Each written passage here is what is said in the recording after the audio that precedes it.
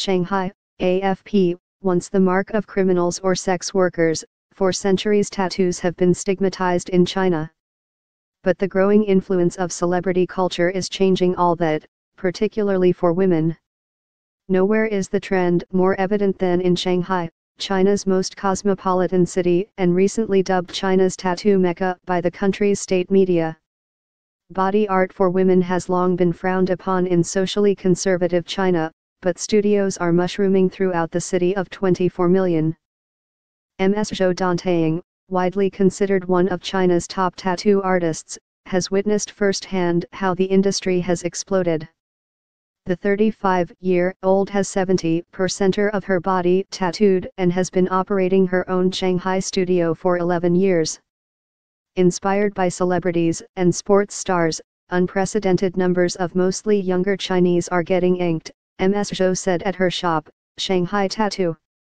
At the beginning, of course, they just give you a weird look, they're freaking out, Ms. Zhou, who also has multiple piercings and dyed green hair, said of the reaction she gets on the street. But now there are a lot of people getting tattoos, it's getting more and more popular.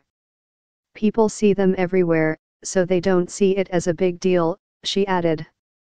Ms. Zhou, who got her first tattoo at 16 and has inked both her parents, is originally from Harbin, a city in China's far north. There is a growing body art scene there too, she said there is a lot of change. Before, not many people get tattoos. They thought that people with tattoos, that person must have been in jail or you are a bad person. Now it's a cool thing, to represent yourself as different, she said. In imperial times, convicts were sometimes tattooed as a lifelong reminder of their crimes, and tattoos later were used by Chinese triads to signify gang loyalties.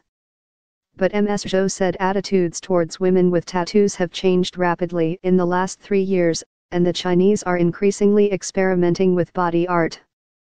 Before, when you saw a woman with a tattoo, it was usually just a small one, she explained, adding, but now you can see everywhere that they are having full sleeves or chest or full back.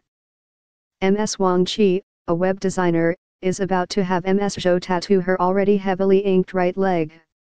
The 29-year-old has several body designs, including an hourglass to remind her of the preciousness of time, and a sailboat and lighthouse inspired by her love of the sea, as well as tattoos of a snake's head and a crocodile's eye.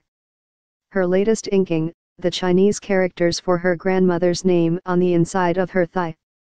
Ten years ago, only 10% of people could accept women doing this but now at least 60 to 70 percent of people can, Mississippi Wang said, while adding that quality can vary widely.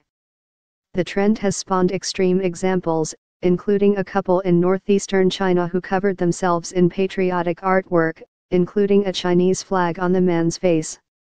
Reliable figures are elusive, but Mr. Hu Deliang, former head of the China Association of Tattoo Artists, estimates there are about 200,000 such artists in the country. The Shanghai tattooist said women now account for at least 60% of his customers.